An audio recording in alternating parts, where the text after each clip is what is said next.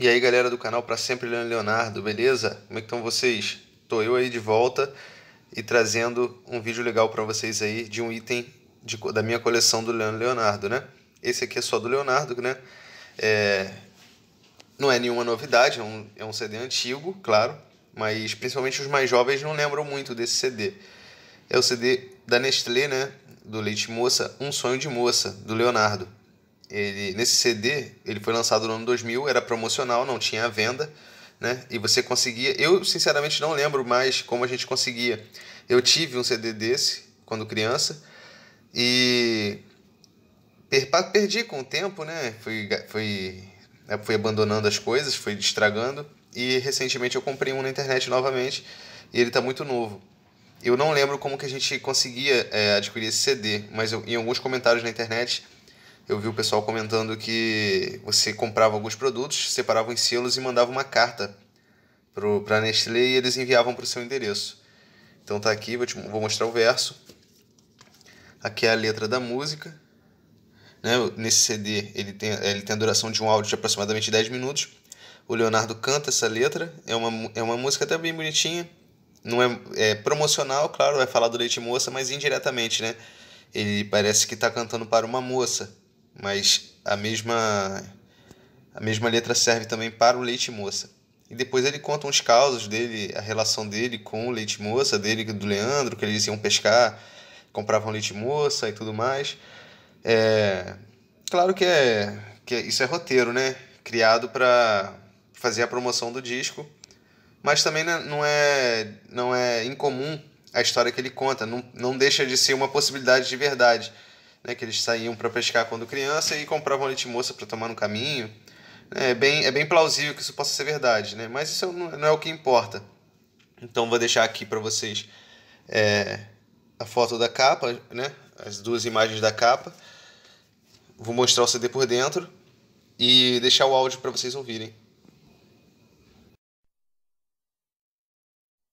Oi, gente, aqui quem fala é o Leonardo. Esse CD que você acaba de ganhar é um presente do Leite Moça para você. E o nome dessa música que você vai ouvir é Sonho de Moça. Espero que você goste. Ouça com muito carinho, daqui a pouquinho a gente volta a conversar.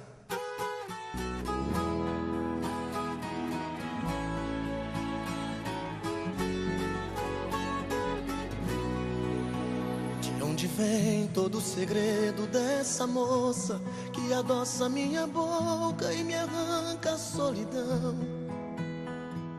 Um beijo roubado, um doce pecado. Quem nunca sentiu essa emoção? O tempo passa, mas aumenta meu desejo. Só você conhece o jeito de tocar meu coração. É moça prendada de fina tradição. Foi a primeira vista essa paixão. Moça tão pura com essência de menina, me provoca, me fascina, como a flor ao beija-flor. Quando ela chega, tudo vira uma festa. Ela traz a alegria e a vida mais sabor. Moça do jeito caseiro do lar brasileiro, seja onde for.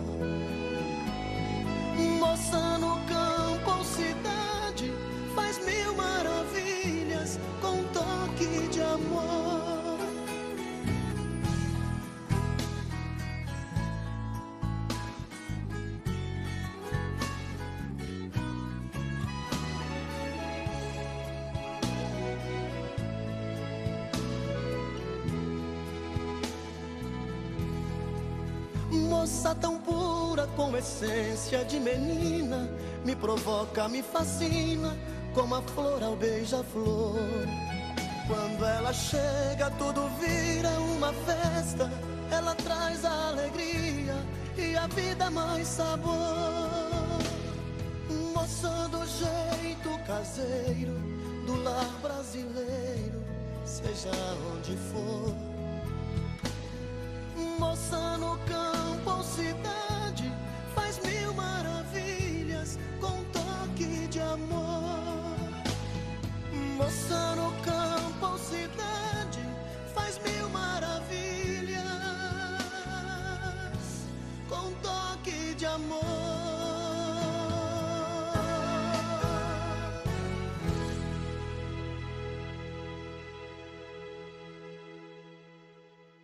Gente do céu, mas que coisa linda, né? Aliás, essa música fala de dois grandes amores da minha vida: a mulher brasileira e o leite moça, que eu adoro muito, né? E sobre essa música, eu vou contar alguns segredos para você. O beijo roubado e o tapa instalado. Quando eu estudava lá no colégio, lá eu fazia primário, né? E tinha uma menina muito bonita lá. A apelido dela era Lábios de Mel, sabe? E eu pensei assim, um dia ainda vou, vou roubar um beijo dessa menina. Que ela tinha os lábios muito bonitos, sabe? Carnudo, sabe? Eu desde aquela época que já, né, graças a Deus, já gostava do trem. Aí um dia, rapaz, chegou bem pertinho de mim pra perguntar não sei o que lá e eu chapequei um beijo na boca dela. Ela me pregou a mão nos meus ouvidos que tá dando sinal de ocupado até hoje. Mas valeu. Ei, bom danado, né, rapaz? Nem por falar em trem, aí o maior olho do mundo é o do mineiro e do goiano, né? Cabe um trem, entrou um trem no meu olho. Os mineiros falam trem, por ser ali divisa, os goianos também falam trem. E a gente, quando viajava muito para Minas Gerais, a gente fazia muitos shows, a gente passava por Araguari, por Uberlândia, Patos de Minas, Coromandel, ia chegando para aquele lado do Belo Horizonte ali. Tem um trem, um trem de ferro que vai também, faz o mesmo roteiro. No trem que vai para Araguari com destino a Uberlândia. Eu te vi, te conheci. Viajei o tempo inteiro ao seu lado e fui feliz. Ah, esse triângulo mineiro é demais. Foram muitos dias tão juntinhos de você. Eu não esperava ver você me abandonar. Esteja onde estiver, vou te buscar. Fui em patrocínio, Passos e Coromandel. Onde andaria meu pedacinho de céu? Fui a Uberaba, Tuiutaba e não achei. Só Deus é que sabe o que eu passei no trem que vai para Araguari. Eu partia de Goiânia com destino a Uberlândia. Eu te vi, te conheci. Viajei o tempo inteiro ao seu lado e fui feliz no trem que vai. O pessoal fala que o Leandro Leonardo nasceu em Goianápolis, outros falam que é em Goiânia. Na verdade, nós nascemos na, na roça, né, na fazenda. E quando eu tinha 8 anos de idade, Leandro 10, a gente ia para Goianápolis, a cidade próxima, onde a gente viveu a nossa infância, adolescência. E o meu tio era, era rico, o tio, tio Anjo. E tinha um filho que chamava Gilmar, que era muito peralta. E na esquina tinha um, um, um armazém, um armazém do, do, seu Toninho, seu Toninho espanhol. E a gente ia pescar, a primeira coisa que a gente fazia era passar no, no armazém do seu Toninho para comprar leite moça. a gente comprava leite moça, a gente comprava fiado na conta do, do meu tio, né? A gente passava lá e comprava três, cinco, dez latinhas de leite moça, ia pescar e na estrada a gente furava elas com um prego, né? E ia chupando na latinha, na latinha do leite moça até chegar na pescaria. E no final do mês, meu tio ia pagar, não, acreditava lá, 50, 60 latas de leite moça, né? E nós só no prego, furava o buraquinho nela e mandava pra dentro, né? Chupava no canto da lata. Ia pagar, mas Tereza, falar pra mulher, Tereza, você tá fazendo pudim demais, esse, esse mês você fez pudim demais. Eu falei assim, não, não fiz nada. E nós só comprando fiado. primeiro disco veio em 86, pintou uma música do César Augusto, chamava Contradições. Sublime Renúncia, inclusive o Elias que tá tocando esse violão aqui com a gente, tocou no nosso disco, né?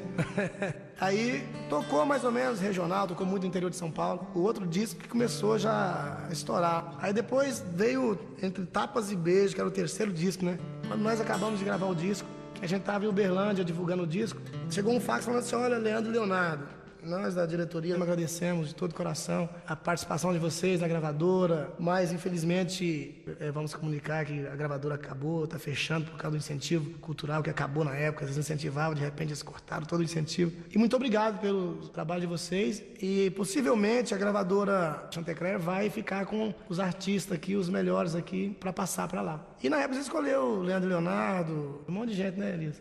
Aí nós vim pro interior de São Paulo, rapaz, divulgar o disco. E o Moleano chegava cantando uma música na televisão e tinha aquelas duplas que estavam começando igual a gente, de violão, tocando de violão seco ali. cantando tapas e beijos. Tinha cinco duplas cantando a mesma música. Eu falei, caramba, essa música tá estourada, Leandro. E nós cantando outra música aqui. Aí os caras cantam aquela tapas e beijos de vocês, tá boa demais. E nós mudamos a música, né? Passou 30 dias, o pessoal do Rio chamou pra gente gravar o Globo de Ouro. A música era o primeiro lugar no Brasil inteiro. Então foi uma coisa de Deus, foi uma coisa que. De desempregado passamos a, a sucesso de uma hora para outra assim. E de lá para cá a gente sempre coloca uma música mais animada no disco, né? Depois veio Paz na Cama, veio Mexe Mexe, agora esse Bota para Remexer, lá em cima no Nordeste, Norte e Nordeste, o povo gosta muito. Devido às, festa, às festas juninas que são muito fortes, onde quando o sanfoneiro toca não fica nem, nem senhora, nem senhor, nem nem moça, né? nem morena, nem loura, todo mundo levanta para dançar. E onde tem um forró desse, tem que ter o leite moça, porque as batidas, tudo vai leite moça, todas. Uma festa dessa não pode faltar brigadeiro, a canjica, o doce de leite, a cocada, o pé de moleque. Né? Pra falar a verdade, esse, esse tal do leite moça aí, só não vai no, no churrasco no, na maionese, no resto. Pode colocar o leite moça que cai bem, né não? Sou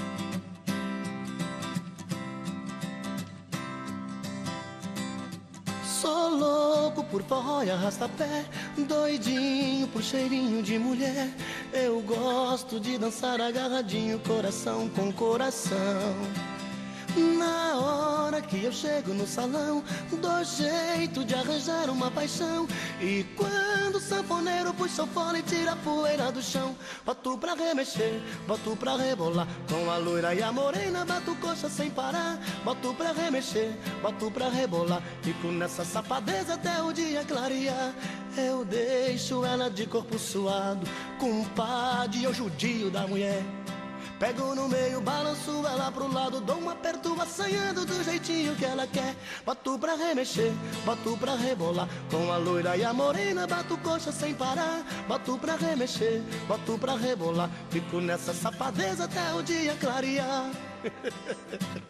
Dois pecados, né? Então vocês, então vocês querem dois pecados. Essa, essa vida de artista nossa que a gente viaja pra lá e pra cá, não tem hora de almoçar, não tem hora de jantar e fica comendo sanduíche para cá, sanduíche para lá, e realmente não é fácil. E sempre lembrando lá da fazenda, daquela sobremesa maravilhosa que eles comem todos os dias lá, aquele pudim maravilhoso. Isso é, é um pecado, né? Isso é um doce pecado a gente ficar aqui sofrendo assim, lembrando dessas coisas gostosas que, que tem lá, né? O pudim, quem, quem é apaixonado por pudim é, é, o Leandro, né? O Leandro que a única sobremesa que ele encarava mesmo assim era o pudim. Era o pudim da minha irmã, da Carminha. Aí o Leandro chegava lá e falava, ó, oh, se não for pudim eu não como não, a sobremesa. Então ele era louco com pudim. Eu também sou, né? Quem não é?